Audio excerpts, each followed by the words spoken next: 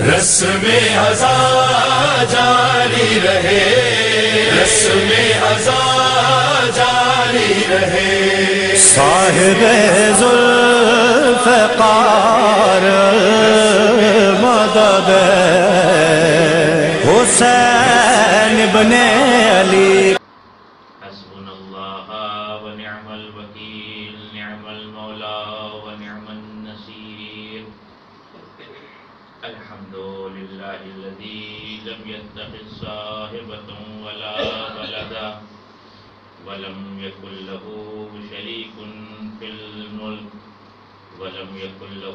ولي من الذل وكبره تكبيرا اللہ اکبر الصلاة والسلام على سيدنا ومولانا بالقاسم محمد. اللهم صل على محمد وآل محمد. وعليه الطيبين الطاهرين المعصومين المظلومين. ولعنة الله على أعدائهم أجمعين. أما بعد فقد قال الله الحكيم في كتابه الكريم وهو أصدق الصادقين. بسم الله الرحمن الرحيم. ولقد كتبنا في الزبور بعد الذكر أن الأرض يرثها عبادي الصالحون. صلوات على محمد وعلى اللهم صل على محمد وآل محمد.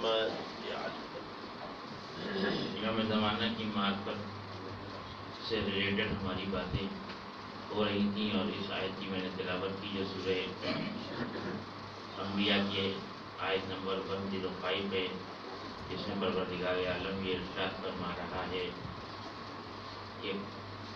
یہ بات ظہور میں لکھ دی گئی ہے توریت کے بعد کہ ہم اس زمین کا مالک اور وارث ان لوگوں کو بنائیں گے جو ہمارے نیک بنتے ہیں۔ یہ آیت امام زمانہ علیہ السلط والسلام کے وجود کے اوپر دلالت کرتی ہے اور پروف کرتی ہے آپ کے وجود کو کہ کس طرح سے پروردگار پروردگار عالم اس زمین کا وارث اپنی نیک اور صالح بندوں کو بنائے گا بات ہماری یہاں تک پہنچی تھی کہ امام کی معرفت حاصل کرنا کیوں ضروری ہے؟ کل میں نے کہا تھا کہ ہمارا عقیدہ ہے اور قرآن نے بھی اسی پہ تاکید کی ہے کہ یوم نتو کو ناصم بے امام قیامت کے دن ہم ہر انسان کو اس کے امام کے ساتھ بلائیں گے۔ کوئی بھی انسان بغیر امام کے نہیں آئے گا قیامت میں۔ تو ظاہر ہے کہ جب ہر انسان کا ایک امام ہوگا قیامت میں، تو ہماری اور آپ کی ذمہ داری یہ ہے کہ ہم اس دنیا میں ایک امام کو پہلے سے چن لیں سلیکٹ کر لیں۔ تاکہ اسی امام کے ساتھ ہم قیامت میں جائیں۔ اب یہ ہر آدمی کی اپنی ذمہ داری ہے کہ وہ کس کو چنتا ہے۔ اپنے لیے امام کے طور پر کس کو چنے گا دنیا میں؟ اگر عقل مند انسان ہے اور کسی امام کو چننا چاہتا ہے تو ظاہر اس کی عقل کا تقاضا یہ ہے کہ ایسے انسان کو اپنا امام بنائے جو اس دنیا میں بھی اس کے کام آئے اور آخرت میں بھی کام آئے۔ بے شک۔ تو اس دنیا میں کام ہونے والے تو بہت سے مل جائیں گے آپ کو کوئی آپ کو نوکری دلا دے گا کوئی پیسہ دے دے گا کوئی گھر بنا کے دے دے گا بہت سے لوگ مل جائیں گے ہم آپ کے لیے یہ کام کر دیں گے۔ لیکن مسئلہ جب آخرت کا آئے گا تو جس نے آپ کو یہاں گھر بنا کے دیا ضروری نہیں کہ وہ آخرت میں آپ کا گھر بنا دے۔ اس نے یہاں آپ کی ضرورت پوری کی ہے ضروری نہیں ہے کہ وہ میدان محشر میں بھی جہاں لوگ بھاگ رہے ہوں گے ایک دوسرے کو دیکھ کر جہاں قیامت کا منظر ہوگا وہاں بھی آپ کی ضرورت کو پورا کر دے وہاں کی ضرورت کو وہی پورا کرے گا امام بن کے جس کو اللہ نے اپنی طرف سے امام بنا کے بھیجا ہے۔ اب معصومین علیہ السلاۃ والسلام ان کے علاوہ کوئی اور نہیں ہے جو قیامت میں ہمارے کام آ جائیں۔ لہذا عقل مندی کا تقاضا یہ ہے۔ قرآن نے بہت سے ایسے موارد پیش کیے آیات ہیں قرآن میں۔ سورہ آراف کی آیت ہے جس میں یہ ایک لوکیشن پیش کی گئی ہے۔ وہ یہ ہے کہ جب جنت و جہنم کا فیصلہ ہو جائے گا۔ اور جنہوں نے برے کام کیے تھے، جو لوگ برے کام کر کے دنیا سے گئے تھے، پروردگار ان کو کہے گا کہ، فرشتوں کہے گا ان کو اٹھا کے لے کے جاؤ جہنم میں۔ انہوں نے نماز نہیں پڑھی تھی، انہوں نے روزہ نہیں رکھا تھا، یہ جھوٹ بولتے تھے، یہ غیبت کرتے تھے۔ وہ ساری چیزیں گنائی جائیں گی، ان کی لسٹ پوری آئے گی اور اس کے بعد یہ حکم ہوگا کہ ان کو جہنم میں لے جا کے ڈالو۔ جب یہ جہنم میں جا رہے ہوں گے تو راستے میں شیطان سے ملاقات ہو جائے گی۔ اب ظاہر ہے کہ جس کی وجہ سے انسان جہنم میں جا رہا ہو، وہ اگر مل جائے کیونکہ وہاں پہ ایک دفعہ اگر حکم ہو گیا کہ جہنم میں جاؤ تب تو ایسا ختم ہو گیا۔ تو جیسے ہی یہ لوگ دیکھیں گے وہ چلا کے کہیں گے، پروردگار سے یہی تھا۔ پروردگار، اس کو پکڑ یہ شیطان تھا، اس کی وجہ سے ہم جھوٹ بولے تھے اس کی وجہ سے ہم نے عقیبت کی تھی۔ یہ تھا جو ہم کو سلا دیتا تھا، ہم نماز نہیں پڑھتے تھے، اس کی وجہ سے ہم نے روزہ نہیں رکھا۔ تو شیطان وہاں گھڑک کے کہے گا سب سے۔ مجھ سے کوئی مطلب نہیں ہے۔ لیکن تم ہی تو ہم کو آ کے بہکاتے تھے، تو کہا کہ نہیں، ہم سے کوئی مطلب نہیں ہے۔ ہم بھی تم کو پکارتے تھے خدا بھی تم کو پکارتا تھا۔ تم نے ہماری اب- آواز پہ لبیک کہا خدا کی آواز پہ لبیک نہیں کہا۔ میں تمہارا ذمہ دار نہیں ہوں۔ یعنی یہ جو قرآن کے واقعات آیت کے ذیل میں ہیں یہ ہمارے لیے ایک میسج ہے کہ ہم دنیا میں اسے اپنا امام بنائیں جو دنیا میں بھی کام آئے اور آخرت میں بھی کام آئے۔ یہ ہمیں طے کرنا ہے۔ اور امام صرف امام بنانے سے کام نہیں چلے گا۔ ہاں۔ عقیدہ رکھنے سے کام نہیں چلے گا۔ امام کی معرفت حاصل کرنا ضروری ہے۔ بے شک بے میں شک۔ نے کل تین عہدے آپ کی خدمت میں عرض کیے تھے کہ اللہ نے تین عہدے ہمارے لیے معین کیے ہیں رسول نبی بنایا رسول بنایا اور حجت نہیں امام امام قرار دیا۔ مرحوم اہ، کلینی نے اصول کافی میں باب الحجت میں باب الغیبت میں یہ ایک دعا نقل کی ہے جس سے اندازہ ہوتا ہے کہ امام کی معرفت کتنی اہم ہے۔ کہ جب ہمارے اور آپ کے تیسرے امام امام حسین علیہ صاحب السلام سے پوچھا گیا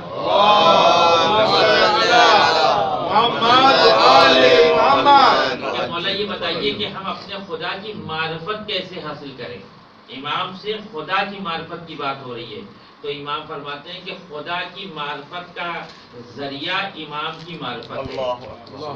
اگر تم اپنے امام کی معرفت حاصل کر لو گے تو خود بخود تم کو خدا کی معرفت حاصل ہو جائے گی۔ سوچنے والی بات ہے کہ امام کی معرفت سے خدا کی معرفت کا کیا رابطہ ہے کیا ریلیشن ہے؟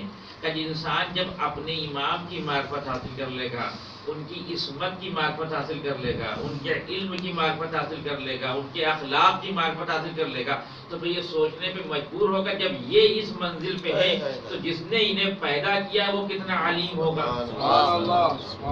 دعا نقل کی جاتی ہے رسول کافی میں دعا میں پڑھ دوں تاکہ اندازہ ہو جائے کہ بندہ اپنے پروردگار سے کہتا ہے اللہم عرفنی نفسک فإنک ان لم تعرفنی نفسک لم عارف نبیت پروردگار، تو اپنے نفس کی معرفت ہم کو عطا کر۔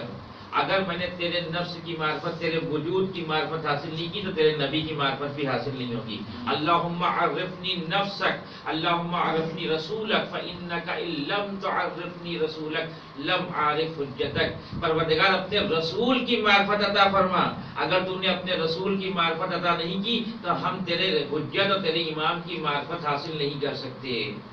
یہاں تک تو مطلب بالکل صاف ہے ابھی کچھ ہو نہیں رہا ہے کہ کیا اگر نہیں حاصل ہوا تو کیا ہوگا؟ پھر آخری جملہ آخری سینٹنس جو اس کا بہت عجیب اللہم عرفنی حجتک لم تعرفنی حجتک ظللت عن دینی۔ اے میرے پروردگار اپنے امام کی معرفت حاصل فرما۔ اگر تم نے ہم کو اپنے امام کی معرفت عطا نہیں کی تو ہم دین سے گمراہ ہو جائیں گے۔ مطلب کیا ہوا؟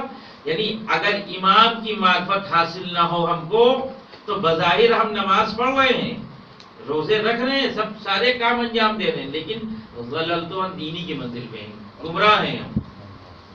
اس لیے میں نے اس ٹاپک کو رکھا کہ جب تک ہم خصوصاً اپنے زمانے کی امام کی جب تک معرفت حاصل نہیں ہوگی اس وقت تک انسان صحیح دین پہ نہیں آ سکتا۔ اس کے عمل قابل قبول نہیں ہے انسان کے عمل کی قبولیت کے لیے کنڈیشن یہ لگائی گئی ہے کہ اپنے زمانے کے امام کی معرفت حاصل کی جائے۔ ایک سلوات پڑھے محمد وال محمد۔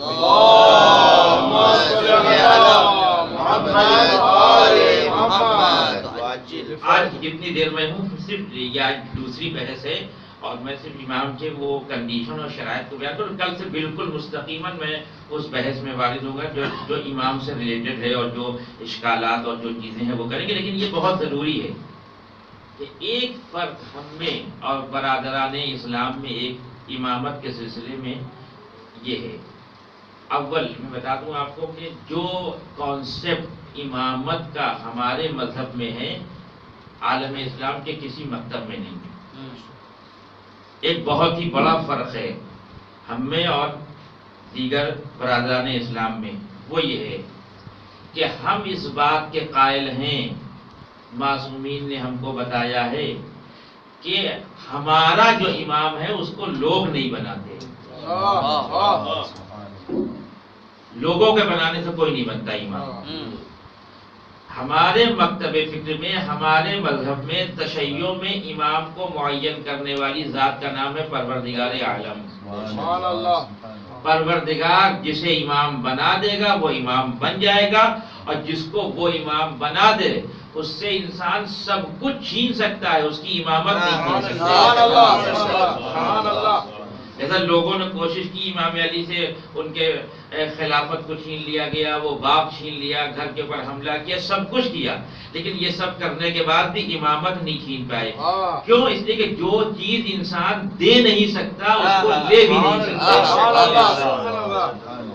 جیسا امامت ایک ایسی چیز ہے جس کو اللہ معین کرتا ہے پروردگار کے علاوہ کوئی اور معین نہیں کر سکتا ہمارے مکتب فکر میں۔ لیکن برادران اسلام میں یہ ہے کہ نہیں، لوگ بھی امام بنا سکتے ہیں۔ دس لوگ جمع ہو جائیں، پچاس لوگ جمع ہو جائیں، سو لوگ جمع ہو جائیں، وہ امام بنا سکتے ہیں، کوئی مشکل نہیں ہے۔ لوگ جمع نہ ہوں، ایک کمیٹی بنا دی جائے۔ وہ کمیٹی کہے کہ یہ امام ہو گئے امت کے، تو وہ امت کے امام ہو سکتے ہیں۔ کمیٹی بھی نہ ہو، وہ بہت زیادہ طاقتور انسان ہو، وہ خود سے آ جائے۔ دو چار دس پچاس کو مار کر آ کے تخت پہ بیٹھ جائے، تو یہ کہا جاتا ہے کہ یہ واجب الاطاعت ہے۔ چاہے اس نے کسی کا خون بہایا ہو، ظلم کیا ہو، لیکن جو کہ وہ تخت خلافت پہ اگر آ جاتا ہے، تو اس کے لیے کہا جاتا ہے کہ یہ امت کا امام ہے۔ لیکن تعریف میں فرق ہے۔ ہماری امامت کی تعریف میں اور ان کی امامت کی تعریف میں فرق ہے۔ میں صرف انفارمیشن دے رہا ہوں کسی کے اوپر طنز نہیں کر رہا ہوں تاکہ ہمارے نوجوانوں کو معلوم ہونا چاہیے کہ امامت ہے کیا چیز۔ ہماری تعریف یہ کہ امام اسے کہتے ہیں جو دین اور دنیا میں ہمارا سرپرست ہو۔ سبحان اللہ دین اور دنیا میں۔ ہمارا سرپرست ہو۔ ان کی تعریف یہ کہ امام اسے کہتے ہیں جو دنیاوی امور میں سرپرستی کر رہا ہو۔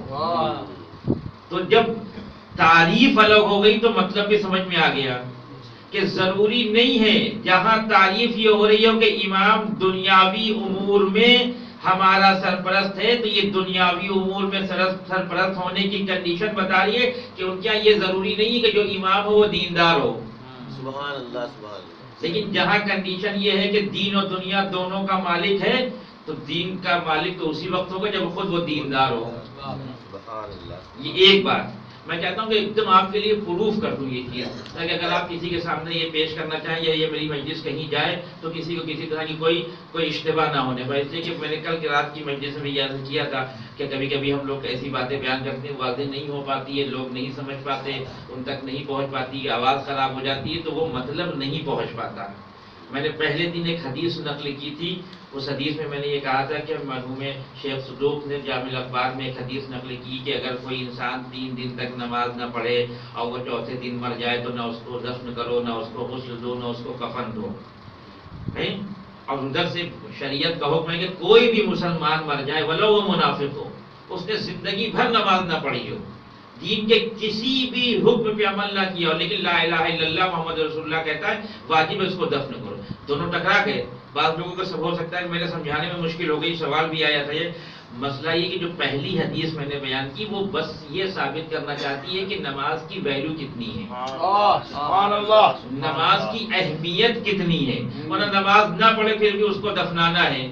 اور نہ صرف دفنانا ہے جب نماز میت پڑھ رہے ہیں تو یہ کہنا بھی ہے اللہم لا نعلم منہ الا خیرا۔ ہاں پروردگار اس سے ہم اچھائی کے علاوہ کچھ نہیں جانتے صاف جھوٹ بول رہے ہیں۔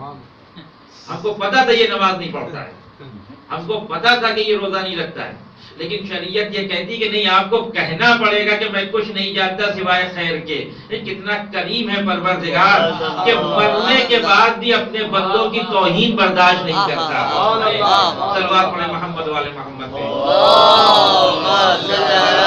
محمد نعرے تکبیر اللہ اکبر۔ نعرے صلو علی محمد وآل محمد صل علی محمد. وآل محمد کیونکہ وقت بھی کم ہوتا ہے یہاں پر، تو بہت زیادہ باتوں کو چھیڑا نہیں جا سکتا۔ جس بات کو بھی چھیڑ- چھیڑوں گا، میں کوشش کروں گا اس کو پورا کر دوں، تاکہ کسی طرح کا کوئی شک و شبہ نہ رہے۔ تو امام ہمارے مکتب فکر میں وہ ہوتا ہے، جس کو اللہ معین کرتا ہے۔ پروردگار کا حد یہ کہ رسول کو حق نہیں ہے۔ کہ رسول خود اپنی مرضی سے کہیں کہ یہ میرے بعد امام ہے۔ رسول کہیں گے یہ میرے بعد میرا ولی ہے یہ میرا وارث ہے۔ جناب موسیٰ کتنے بزرگ نبی ہیں کتنی زحمتیں اٹھائی ہیں۔ اللہ کے لیے کتنا کام کیا امت کے لیے کتنی مشکلیں اٹھائیں لیکن جب فرعون کے دربار میں جانے لگے تو پروردگار سے دعا کی پروردگار میری زبان کو کھول دے اور میرے بھائی ہارون کو میرا وزیر بنا دے۔ جبکہ جناب موسیٰ کو معلوم تھا کہ جناب ہارون کے اندر وہ ساری کنڈیشن موجود ہے جو ایک وزیر کے بننے کے لیے ہوتی ہے۔ لیکن پھر بھی جو کہ یہ عہدہ خدا کی طرف سے آتا ہے جب تک خدا اعلان نہیں کرے گا میں نہیں کروں گا۔ معلوم تھا جناب موسیٰ کو یہ معصوم ہے یہ نیک ہے یہ میرا ساتھ دے رہے ہیں کوئی اور دے نہیں رہا تھا۔ لیکن کہا پروردگار تو بنا تاکہ امتیوں کے ذہن میں یہ بات رہے کہ خدا بناتا ہے۔ اب یہاں سے ایک مسئلہ اور ہے میں اس کو بھی عرض کر دوں کہ بہت سالوں سے بیس پچیس پچاس سال سے ہم لوگ پھنسے ہوئے ہیں ایک مسئلے کے اندر نکل نہیں پا رہے ہیں اور ذاکرین آ کر ہم کو اسی میں الجھا دیتے ہیں۔ وہ مسئلہ امام علی کی خلافت کا ہے۔ ہم یہاں سے آگے پورے اشرے میں یہ ثابت کرتے ہیں کہ وہ پہلے ہیں۔ اور دوسرا آدمی آ کے ثابت کرتا ہے وہ چوتھے ہیں۔ پچاس سال سے ہم پہلے اور چوتھے میں پھنسے ہوئے ہیں۔ ٹائم اپنا برباد کر رہے ہیں۔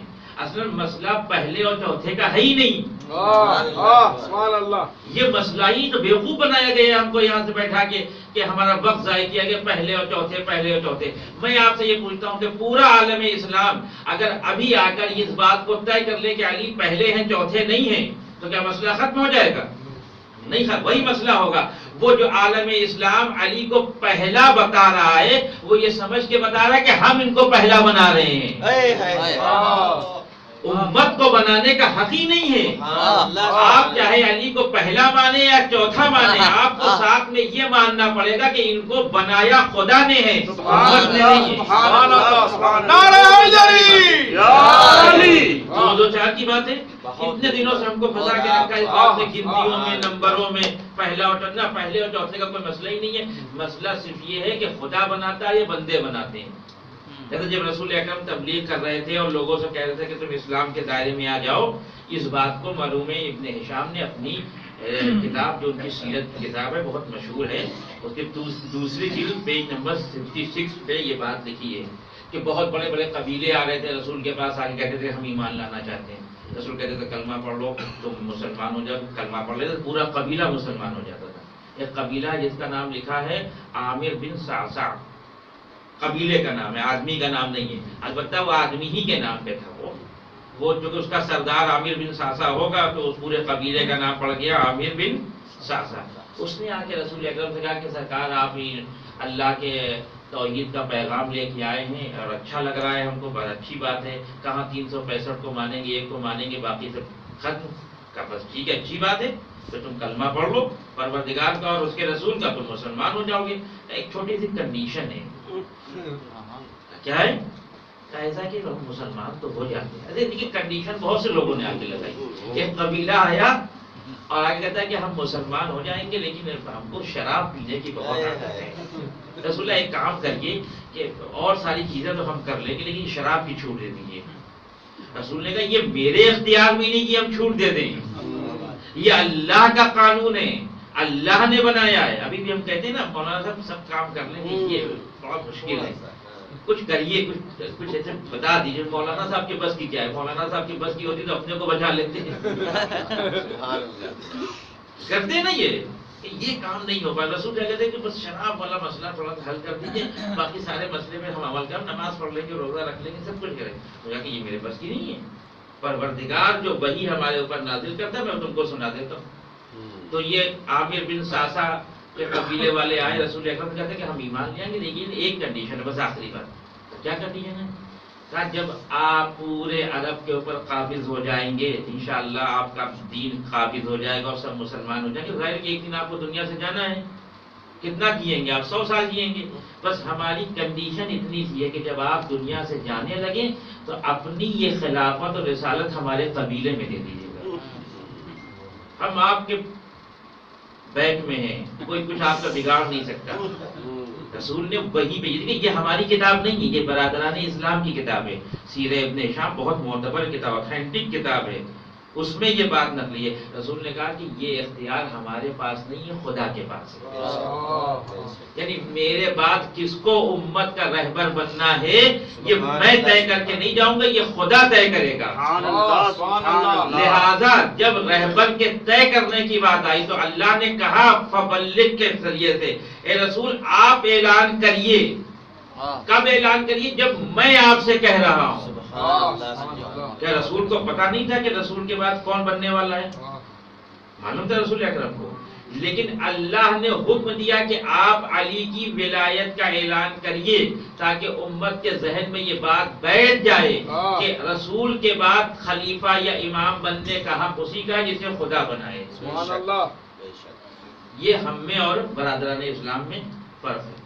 بس یہ اس فرق کو ہمیشہ یاد رکھیں، کبھی اگر کسی سے کوئی سابقہ پڑ جائے بحث ہو جائے تو آپ یہ کہہ سکتے ہیں کہ بھئی آپ بھی مانتے ہیں، امام کو ہم بھی مانتے ہیں، لیکن ہماری، ہمارا مسئلہ یہ کہ جس کو خدا بنا دیتا ہے۔ لہذا قرآن کی لطافتوں کو دیکھیں واقعی بہت عجیب ہے۔ جہاں جہاں منصب کی بات آئی ہے، وہاں پروردگار نے بیچ سے سب کو ہٹا دیا ہے۔ جناب، کل میں نے آیت پڑھی تھی۔ جناب ابراہیم کا جب امتحان ہو گیا تو پروردگار نے کیا کہا؟ انی جاعلو کا للناس اماما. اے ابراہیم ہم آپ کو امام بنا رہے ہیں، بیچ میں کوئی نہیں ہے۔ جب جناب آدم کا مسئلہ آیا تھا تو کیا کہا تھا کہ میں زمین پہ خلیفہ بنانے والا ہوں۔ وَجَعَلْنَاهُمْ أَئِمَّةً میں لوگوں کو امام بناتا ہوں۔ یعنی یہ منصب جب پروردگار کسی کو عطا کرتا ہے تو بیچ میں کسی کو نہیں رکھتا۔ موسا جیسے نبی سے بھی کہتا ہے کہ اگر ہارون کو اپنا ولی بنانا ہے تو مجھ سے آ کے کہو میں بناؤں گا۔ سبحان اللہ سبحان اللہ۔ بس بات کو یہیں پہ آج ختم کر رہا ہوں۔ لہذا فرق کیا ہے کہ امام اللہ کی طرف سے بنایا جاتا ہے تو جب اللہ کی طرف سے امام بنایا جائے گا تو اس کے اندر وہ سارے صفات پائے جائیں گے جو اللہ کی ذات کے اندر ہے سبحان اللہ سبحان اللہ۔ اس کے اندر وہ علم پایا جائے گا جو خدا کی ذات میں اس کے اندر وہ قدرت پائی جائے گی جو خدا کی ذات سبحان اللہ اب اس سبحان کے اللہ۔ امام کے بارے میں یہ تصور نہیں کر سکتے کہ یہ کر سکتا ہے اور یہ نہیں کر سکتا۔ وہ نہ کرے یہ اس کی شرافت ہے۔ سبحان اللہ سبحان ہاں، اللہ کوئی آدمی یہ سوچے کہ امام نے یہ کام نہیں کیا تو اس لیے نہیں کیا کہ معذ اللہ مجبور تھے۔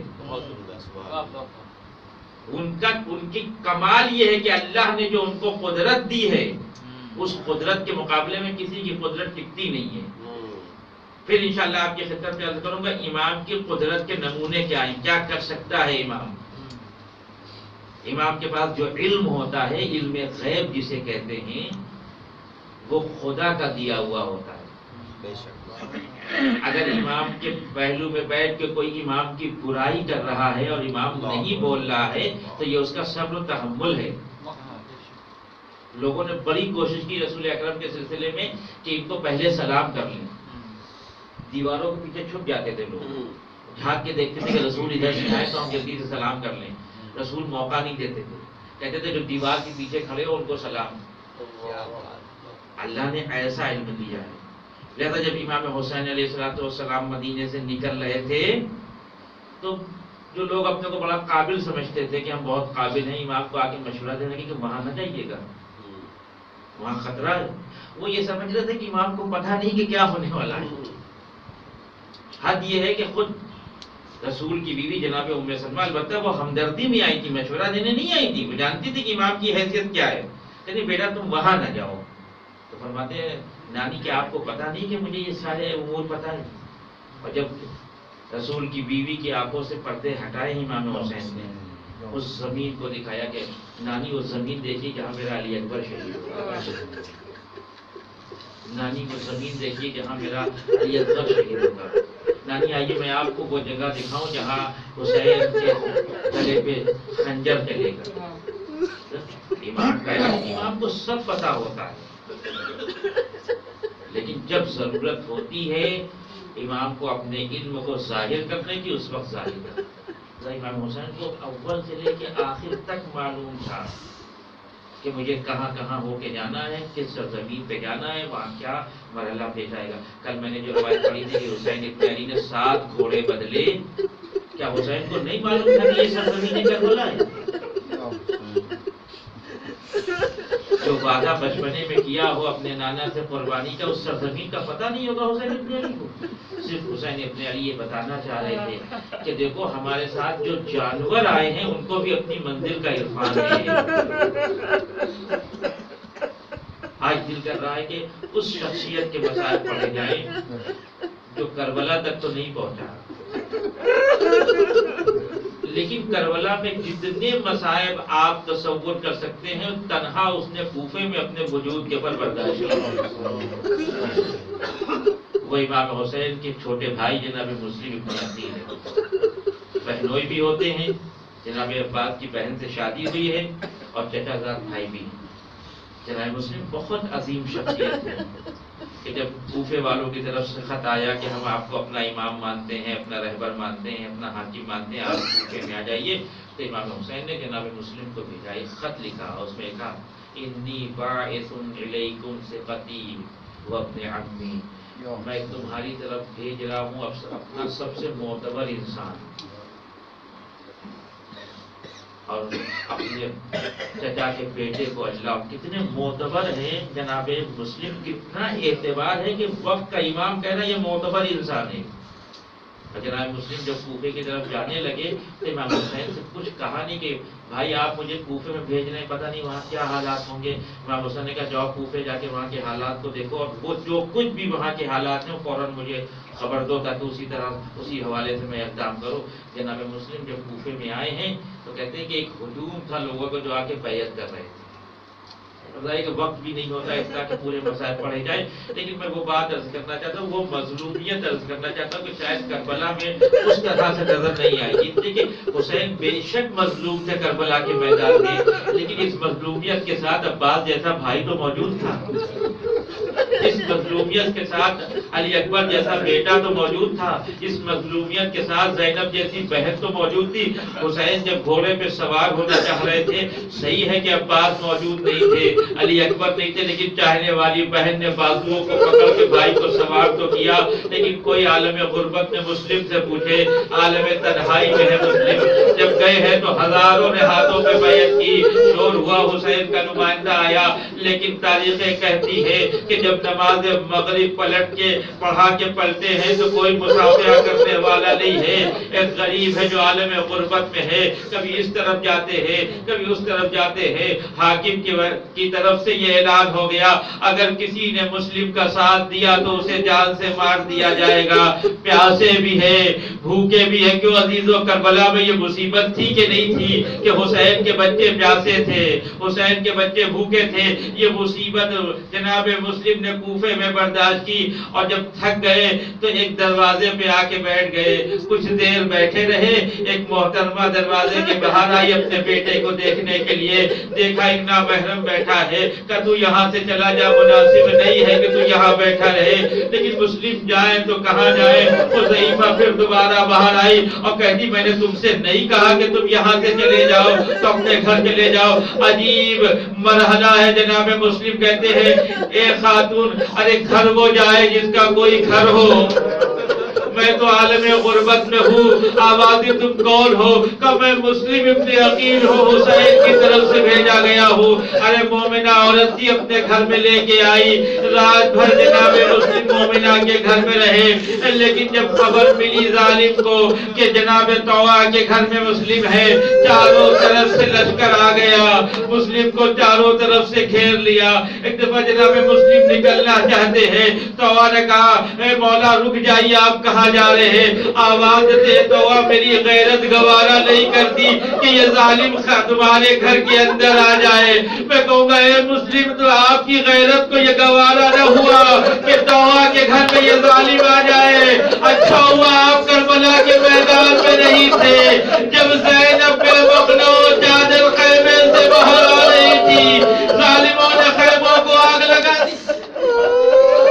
جناب مسلم کو قیدی بنایا گیا، وہ سارے مراحل میں چھوڑ رہا ہوں۔ اور دارالعمارت تک لایا گیا، کہا ہے مسلم، تم نے اپنے امیر کو سلام نہیں کیا۔ مسلم کہتے، میرے امیر حسین کے علاوہ کوئی اور نہیں ہو سکتا۔ ظالم کہتا، مجھے امیر کہو یا نہ کہو، تمہیں مارا جائے گا۔ وسیعت کی عزیزوں، اور دارالعمارت کی چھت پہ لے کے گئے۔ کہتے، اب تمہیں جو آخری کام کرنا ہو، کر لو۔ دو رکعت نماز پڑھی جناب مسلم نے، اور ایک دفعہ اس طرف رخ کیا جدھر حسین کا قافلہ جا رہا تھا۔ آواز دی، السلام علیکہ یا ابا عبداللہ، ہوا کی دوش پہ مسلم کا یہ سلام، حسین کی سبعاتوں تک گیا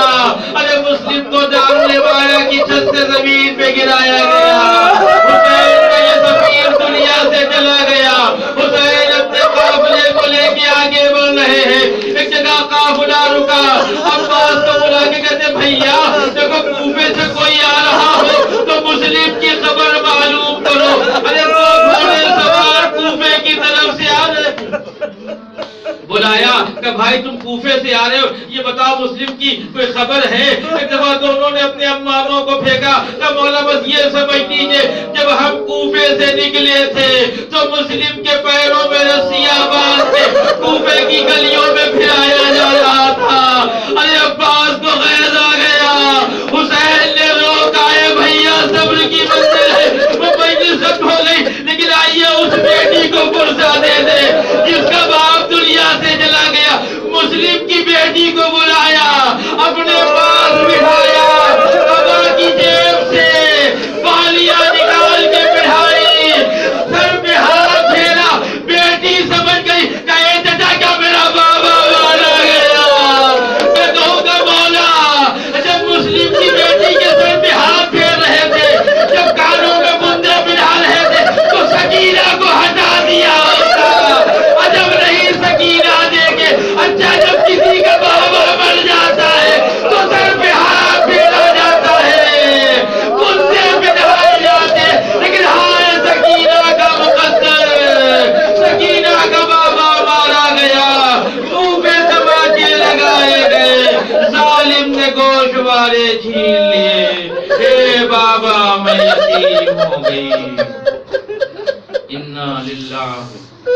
و